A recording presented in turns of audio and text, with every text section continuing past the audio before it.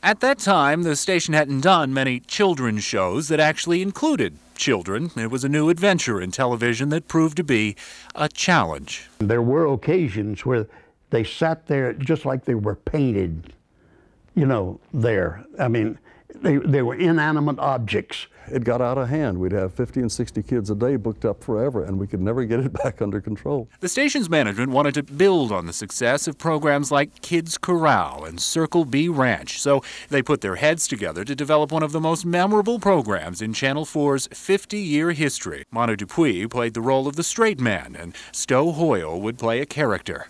I says, if you want a clown, talk to somebody else. I will not put that clown makeup on five, six days a week. That's a bit much. We were looking for some sort of an enduring character, and I suggested that we uh, maybe get a grandfatherly like character that wouldn't get outgrown like a cowboy or a clown or something. How many nights until Santa comes to your house? Stowe Hoyle had an old Santa costume in his locker. He took it home to his wife Laura, and they came up with the costume he would wear for many years. Stowe pitched the character to managers, but it needed one final touch a name. I said, I don't know. I said, how, Mr. Thingamajig, Mr. Whatchamacallit, Mr. Doohickey, and somebody spoke up and says, Doohickey. I like Doohickey. Mr. Doohickey, you're on. Oh, for goodness. The character came alive, and so did the imaginations of Stowe and Monty. Some of the skits they came up with were quite original. Hey. Monty and I would talk about it when we were getting dressed. It was never scripted.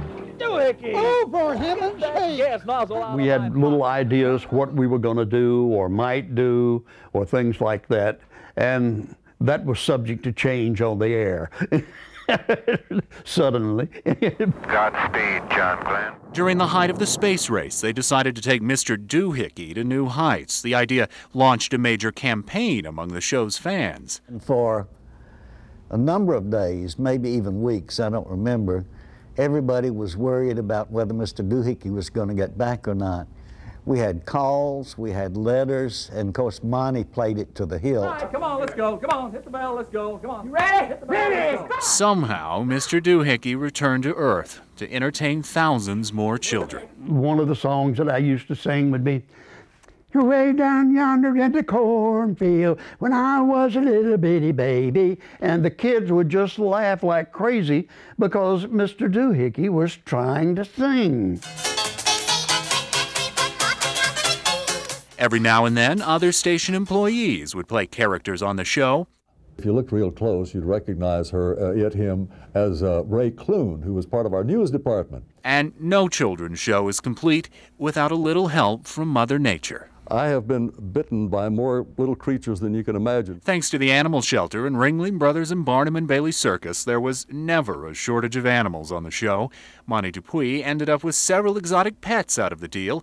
Of course, one of them outlasted the others. Mo the Mynah Bird lived to be 18 years old. He'd say about 24, 25 different things, uh, but it was when he got good and ready. I'd let him sit on my shoulder a while. Once in a while, the children would feed him. Mo was a popular character on the show, but had a wandering spirit. He got out a couple of times, and once a photographer had to climb a tall tree in the station's front yard and pull him back down. Mo would sit up there and he'd look down and he'd say, Hello, boy.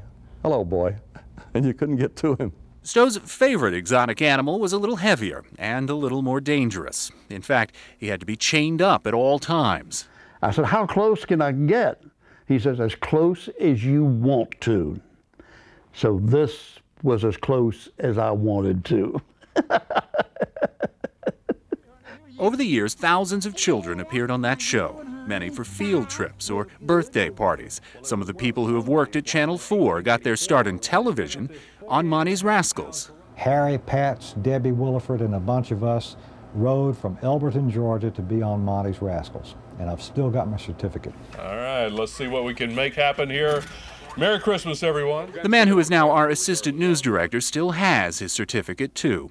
He was on the show twice, the first time for his brother's birthday. So, my brother got me my first bit in television. Some of the show's guests turned out to be leaders in the community. In fact, Knox White, who is our mayor, he once told me he was on here five times.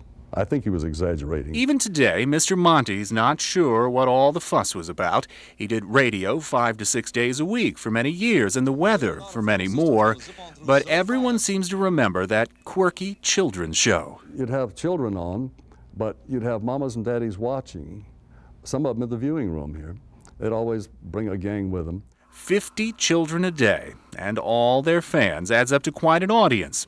It's an audience that remembers the laughter decades after the set went dark. Every day I meet people and I talk to people, and they say, Do you mind being called Mr. Doohickey? I, look, why would I object? I mean, I was him for 20 odd years or more.